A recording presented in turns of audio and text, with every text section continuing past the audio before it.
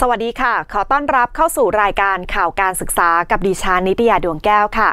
คุณผู้ชมคะในช่วงปิดเทอมนี้นะคะ เชื่อว่าผู้ปกครองหลาย ๆ คนนะคะ คงจะหาสถานที่ท่องเที่ยวไว้ให้กับลูกหลานอย่างแน่นอนค่ะ ซึ่งในช่วงนี้เราก็มี 3 สถานที่ท่องเที่ยวที่น่าสนใจ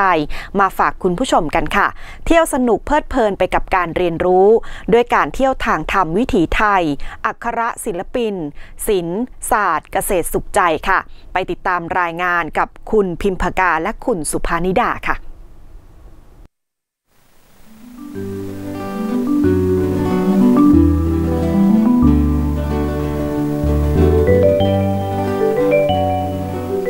หออักขระศิลปิน แบ่งส่วนการจัดแสดงเกี่ยวกับพระราชประวัติ พระราชกรณียกิจ และพระปีชาสามารถทางด้านศิลปะ ของพระบาทสมเด็จพระปรมินทรมหาภูมิพลอดุลยเดชบรมนาถบพิตรรวมถึงจัดแสดงผลงานจิตรกรรมฝีพระหัตถ์และภาพถ่ายฝีพระหัตถ์ขององค์อักขระศิลปินไว้เป็นจำนวนมาก และได้นำเสนอบทเพลงพระราชนิพนธ์ในพระบาทสมเด็จพระปรมินทรมหาภูมิพลอดุลยเดช บรมนาถบพิตรในรูปแบบดนตรีสามมิติ เป็นแห่งแรกของประเทศไทย นิทรรศการประวัติและผลงานของศิลปินแห่งชาติ สาขาทัศนศิลป์ภายในห้องนิทรรศการ มีการจัดแสดงรายชื่อของศิลปินแห่งชาติ สาขาทัศนศิลป์ แสดงประวัติผลงานที่ทรงคุณค่าของศิลปินแห่งชาติ อาทิ ด้านประติมากรรม ด้านถ่ายภาพ ด้านจิตรกรรม ด้านหัตถศิลป์ ด้านสถาปัตยกรรม เป็นต้น นิทรรศการประวัติและผลงานของศิลปินแห่งชาติสาขาวรรณศิลป์ การจัดแสดงในห้องนี้ประกอบด้วย แผ่นป้ายพร้อมลายเซ็นของศิลปินแห่งชาติ รวมถึงประวัติผลงาน และเครื่องมือที่ใช้ในการสร้างสรรค์ผลงานวรรณกรรมอันทรงคุณค่านิทรรศการประวัติและผลงานของศิลปินแห่งชาติ สาขาศิลปะการแสดง การจัดแสดงผลงานในด้านต่างๆ อาทิ เพลงไทยลูกทุ่ง เพลงไทยสากล ดนตรีไทย การแสดงพื้นบ้าน เช่น หนังตะลุง กลองสะบัดชัย การแสดงนาฏศิลป์ หุ่นละครเล็ก และดุริยางคศิลป์ และนอกจากนี้ยังมีห้องฉายภาพยนตร์ขนาด 20 ที่นั่งอีกด้วยหออัครศิลปินตั้งอยู่ที่ถนนเลียบคลอง 5 ตำบลคลอง 5 อำเภอคลองหลวง จังหวัดปทุมธานี เปิดวันอังคารถึงวันอาทิตย์ ตั้งแต่เวลา 9 นาฬิกา 30 นาทีถึง 16 นาฬิกา ที่สำคัญ หออัครศิลปินเข้าชมฟรี ไม่เสียค่าใช้จ่ายค่ะ หออัครศิลปินนั้น ถือว่าเป็นแหล่งเรียนรู้ทางด้านศิลปะและวัฒนธรรมนะครับ เมื่อท่านมาที่นี่แล้วท่านจะได้พบกับพระปิชาสามารถทางด้านศิลปะของพระบาทสมเด็จพระปรมินทรมหาภูมิพลอดุลยเดชนะครับรัชกาลที่9นะครับในฐานะที่ทรงเป็นอัครศิลปิน นะครับแล้วก็มีพระปิชาสามารถทางด้านศิลปะขององค์วิสิตศิลปิน คือสมเด็จพระเทพครับนอกจากนี้ยังมีผลงานศิลปะของศิลปินแห่งชาติจัดแสดงอยู่ทั้ง 3 สาขานะฮะเพราะนั้นมาที่นี่จะได้ชมงานศิลปะของในหลวงรัชกาลที่ 9 สมเด็จพระเทพ ศิลปินแห่งชาติ 3 สาขา และท่านยังได้สร้างสารรค์งานศิลปะด้วยตัวท่านเองในกิจกรรมที่เราได้เตรียมไว้นะครับ จากหออัครศิลปิน เรามาต่อกันที่วัดปัญญานันทาราม วัดนี้สร้างขึ้นเพื่อมุ่งหวังให้เป็นมรดกธรรม มีคำปารบในการก่อตั้งวัดไว้ว่า สร้างพระสร้างคนสร้างเยาวชนของชาติ สร้างศาสนาทายาทให้มีชีวิตอยู่ในโลกอย่างถูกต้อง ให้มีชีวิตเรียบร้อย ตามหลักคำสอนของพระพุทธศาสนา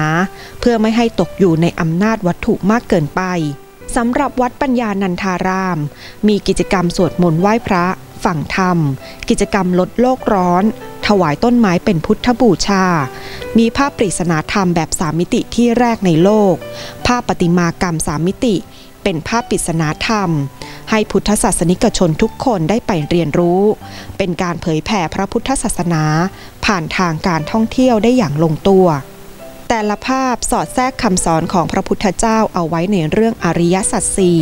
เป็นการเตือนสติให้แก่พุทธศาสนิกชนทุกคน ที่จัดแสดงอยู่ด้านล่างเจดีย์พุทธคยา เปิดให้นักท่องเที่ยวเข้าไปถ่ายรูปได้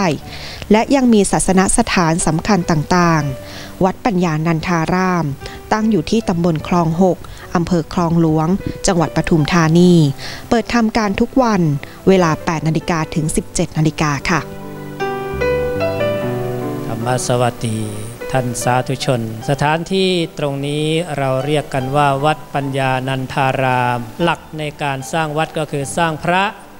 สร้างคน สร้างเยาวชนของชาติ สร้างสาธารณทายาทให้อยู่ในพระพุทธศาสนาได้อย่างถูกต้อง กิจกรรมหลักๆ ของวัดปัญญานันทารามของเราก็มีหลายโครงการ โครงการที่หนึ่งก็คือการ ปฏิบัติธรรมเนคขมมะบารมี โครงการที่สองก็คือโครงการบรรพชาสามเณรภาคฤดูร้อน โครงการที่สามก็คือโครงการค่ายคุณธรรมฉะนั้นใครที่มีความสนใจต้องการที่จะเข้ามาศึกษาเรียนรู้ปฏิบัติที่วัดปัญญานันทาราม ก็สามารถติดต่อได้ที่เว็บไซต์วัดปัญญานันทาราม เราจะขึ้นกิจกรรมโครงการอยู่ที่นี้นั้นทั้งหมดเลย ก็ขอเจริญพร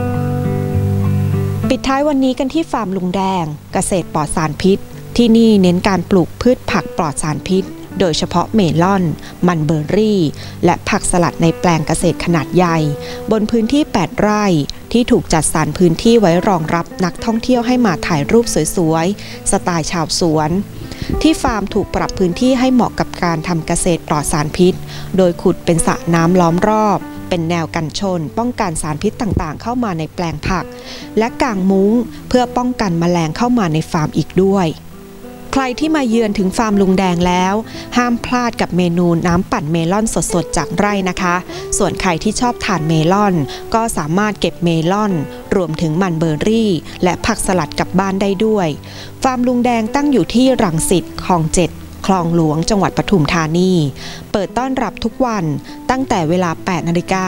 จนถึง 20 นาฬิกา 30 นาทีค่ะ